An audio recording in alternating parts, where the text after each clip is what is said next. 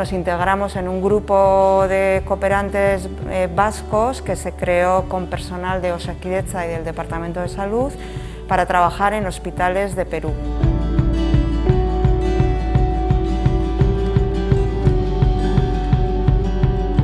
Colaboramos también con, con personal de Médicos Sin Fronteras. Le hicimos un grupo de trabajo eh, conjunto con ellos, aprovechando un poco su experiencia en gestión de epidemias y nuestra experiencia en, en atención hospitalaria.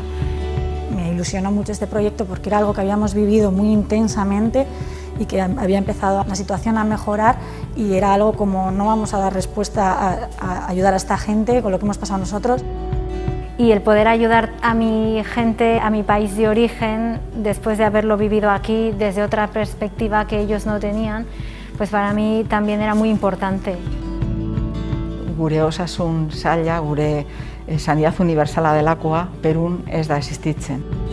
Nos ha servido muchísimo en esta pandemia en el Hospital 22 Tarapoto poder recibir personal de fuera de la región que nos han podido no solo compartir sus experiencias, sino orientar en cuanto al manejo clínico y a la distribución de nuestros recursos. Nos han capacitado, nos han enseñado, han visto eh, en pleno foco de pandemia en nuestra región. No es fácil con el impacto que está teniendo la epidemia en el Estado español y en todas sus comunidades, que haya un gobierno que tenga el valor de coger recursos y destinarlos a otro contexto.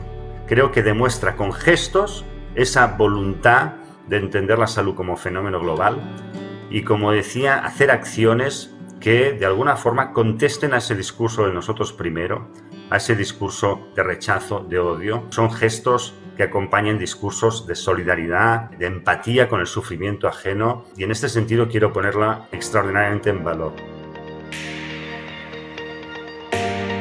En esta iniciativa se ha hecho una alianza excelente, incluso diría innovadora. ¿no?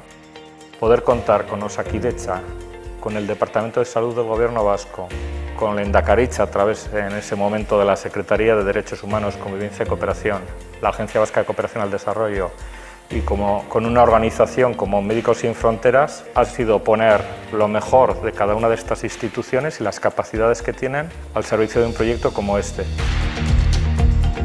Médicos Sin Fronteras aporta su conocimiento del país, su capacidad de introducirse en la realidad, de contactar con la gente a diferentes niveles. La agencia vasca, que duda cabe que tiene una visión mucho más amplia del mundo, de las eh, cuestiones específicas de cada zona. Y nosotros es verdad que completamos a veces ese trío en, en, la medida que conocemos de cerca la enfermedad y cómo luchar contra ella. Yo creo que es una alianza fundamental el personal de, de Osakidecha, del Departamento de Salud, y todo el que ha contribuido lo ha hecho de una manera admirable y respondiendo de una manera que yo creo que es llamativa. ¿no?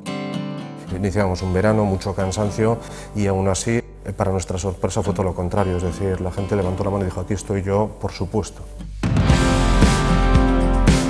Nuestro objetivo principal era, por un lado, ayudar en las unidades de cuidados intensivos y en el tratamiento de pacientes críticos y por otro lado ayudarles y asesorarles en, en sectorización hospitalaria.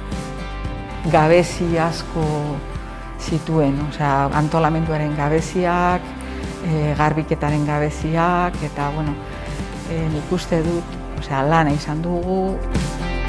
No tenían claro la sectorización y cómo había que separar a los pacientes, al personal, a los, a los suministros que llegaban. Entonces ayudé en impedir que hubiera infecciones cruzadas, es decir, entre, los, entre personal y pacientes, entre paciente y paciente y, y con suministros y, y, o, por ejemplo, visitas que vinieran de fuera. Nuestro trabajo fue más de contar nuestra experiencia y de traspasar un poco a su situación lo que habíamos hecho aquí y lo que nos había funcionado. Tenían muchas necesidades de capacitaciones, de ayudar a gestionar el trabajo con los recursos que disponían.